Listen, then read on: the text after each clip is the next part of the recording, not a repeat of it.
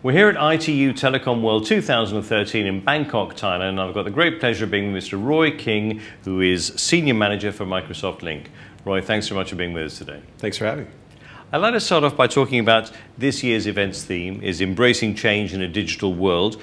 Where do you see the biggest opportunities in that change for the industry and for society as a whole?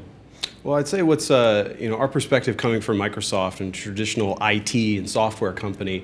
Um, you know, for us, it's really been about this merger and how software has redefined telecommunications. Um, and so, really, we have a lot to learn um, from the traditional uh, telecom world. Um, we also think we have a lot to offer. Um, but this is uh, the, the blending and merging and sort of the breaking of the silos of communications and sort of really looking at new user experiences and ways that the, you know, that can impact business and society, I think is uh, you know, a real remarkable opportunity for all of us. And what about the threats, the challenges in this transformation?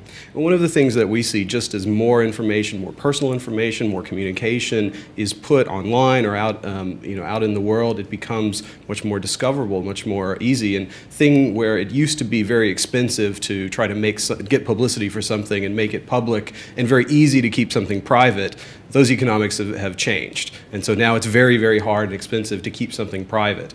Um, and I think we're still struggling and dealing with what that means and sort of how do we, how do we address that world where things are much more uh, available and transparent. And how's Microsoft embracing this change? Well, I'd say there are three kind of key uh, or core principles that we're really driving at that we see are sort of fundamental um, and which will require a lot of change. One is just in the, the user interface and the way that people experience communications. Um, right now, you know, they, we have different tools for different types and um, we have to learn different, uh, you know, interfaces and, uh, and we think that that's unnecessary. And so we really want to drive to making that more seamless, ubiquitous user experience. Um, but on the other hand, again, communications just isn't sort of a, an isolated individual, you know, peer-to-peer discussion. It's often in the context of something, some other activities. And so we want to see how do we bring together communications with other business activities or, you know, personal needs to really embed communications into a, a larger portfolio.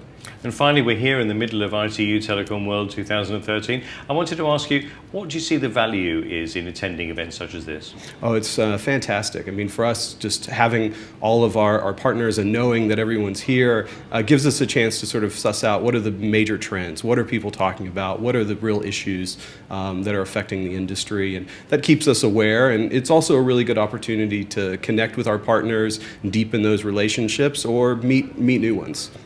Roy King, thank you very much indeed for being with us today. My pleasure. Thank you.